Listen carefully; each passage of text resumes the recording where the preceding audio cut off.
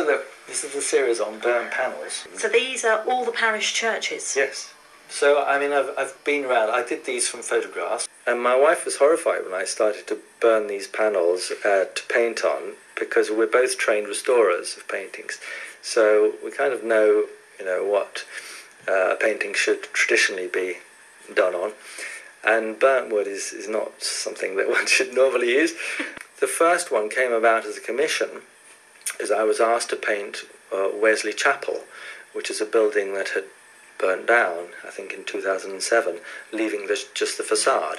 So I was asked to paint that, um, and I thought it, it was just it, it was appropriate to burn the panel first.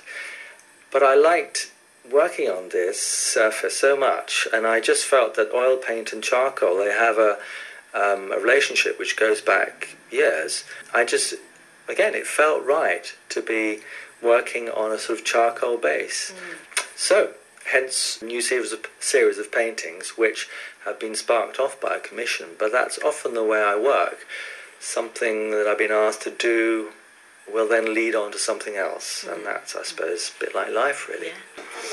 Oh goodness, that's almost a, it's almost a sculpture. Absolutely. Yeah. So I mean, it's still wet. That's why it's slowly drying in the cupboard. Okay. But it, it is like a sort of low relief sculpture. Um, it'll take months and months to dry. Yeah. Uh, and it will change. That the oil paint becomes wrinkly, will sort of sink. But I like that. Um, and anybody that buys these thick paintings, they have to be prepared to see them change. Mm, mm. Um, sometimes in ways that maybe they're not expecting.